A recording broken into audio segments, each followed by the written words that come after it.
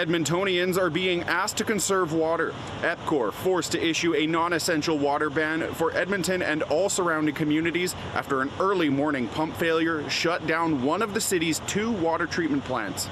We're optimistic we can get uh, the repairs done in a timely manner, but we don't have those specific timelines available uh, right now, which is why we're asking for help.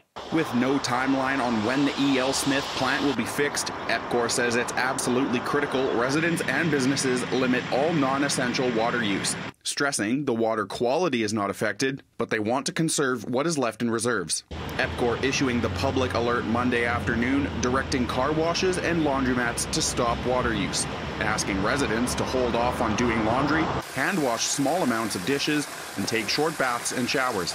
And because Edmonton shares water, this ban extends to all surrounding communities from as far as Stony Plain, Leduc, and Fort Saskatchewan. A spokesperson with EPCOR not revealing many details behind the equipment failure, how long service would be affected, or what would happen if water reservoirs fall below acceptable levels. This demand management measures that we've called can have a significant positive benefit to give us more time to restore service, and in this case, hours do matter. An investigation into the system failure is still ongoing.